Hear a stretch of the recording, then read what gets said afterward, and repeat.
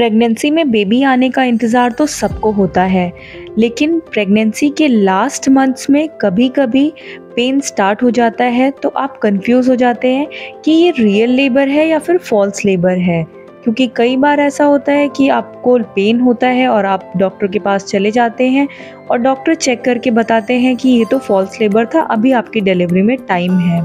मुझे भी मेरी प्रेगनेंसी के नाइन्थ मंथ में पेन हुआ था और मुझे लगा कि लेबर स्टार्ट हो चुका है।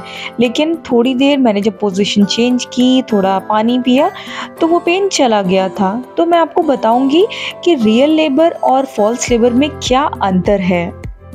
तो चलिए वीडियो को शुरू करते हैं और बात करते हैं पहले डिफरेंस की। पहला डिफरेंस है timing of contraction true labour में जो आपको कॉन्ट्रैक्शंस होंगे, वो रेगुलर इंटरवल पे होंगे और जैसे जैसे टाइम बढ़ेगा, वो जल्दी जल्दी आना शुरू हो जाएँगे कॉन्ट्रैक्शंस और जो एक कॉन्ट्रैक्शन होगा, वो 30 से 70 सेकंड्स तक रहेंगे।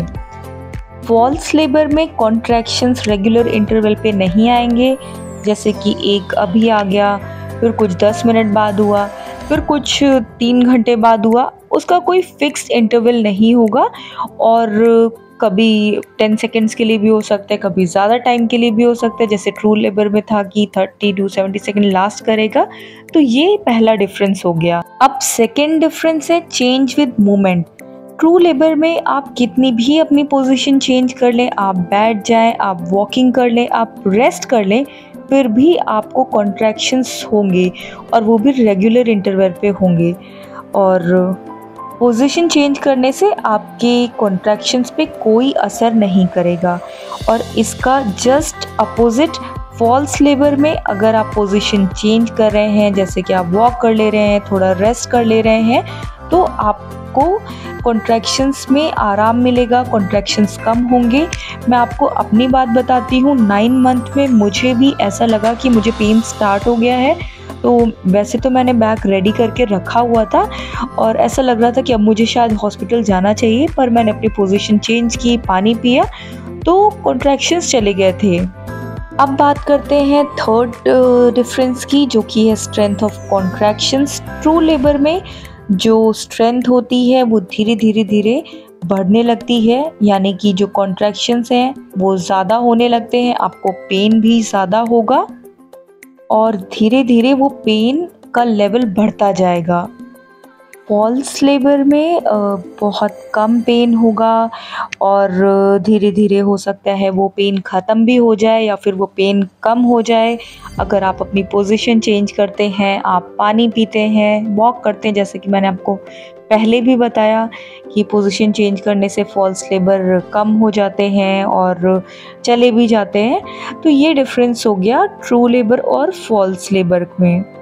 अब बात करते हैं फोर्थ डिफरेंस की, जो कि है pain of contractions true labour में आपको जो पेन है, वो बैक से स्टार्ट होगा, यानी कि कमर के एकदम निचले हिस्से से, और धीरे धीरे धीरे करके वो फ्रंट तक आएगा, आपको लोअर एब्डोमेन में ऊपर साइड पूरे में पेन फील होने लगेगा, और फिर धीरे धीरे आपकी पूरी बॉडी में भी पेन होने लगेगा बॉडी आपको बहुत ज़्यादा ढीली लगने लगेगी। तो ये है ट्रू लेबर का पेन अब बात करते हैं फॉल्स लेबर के पेन की। फॉल्स लेबर में आपको पेन सिर्फ़ आपके पेट में, यानी कि फ्रंट हिस्से में ही दर्द होगा बैक साइड में ज़्यादा दर्द नहीं होगा और धीरे धीरे हो सकता है वो कम हो जाए। तो ये बात कर ली ट्रू लेबर और फॉल्स लेबर में डिफरेंसेस की और फॉल्स लेबर को ब्रैक्सटन हिक्स भी बोलते हैं जो कि प्रेगनेंसी के नाइन मंथ में बहुत कॉमन होता है और मैंने एक, मेरे चैनल पर एक वीडियो भी अवेलेबल है कि आपको कैसे पता चलेगा कि आपका लेबर नियर है। उनमें से अगर आपको कोई साइन दिखे तो आपको डॉक्टर के पास तुरंत जाना है। और मुझे क्या हुआ था, कैसे फॉल्स लेबर हुआ था, मैंने सारी चीज़ें इस वीडियो में आपको बता दी हैं। आपको लेबर पेन स्टार्ट हो चुका है, उसके टेन ऐसे कौन से साइंस हैं, उसका भी वीडियो मेरे चैनल पर अवेलेबल है, अगर आपने ना देखा हो तो उसे ज़रूर देखें।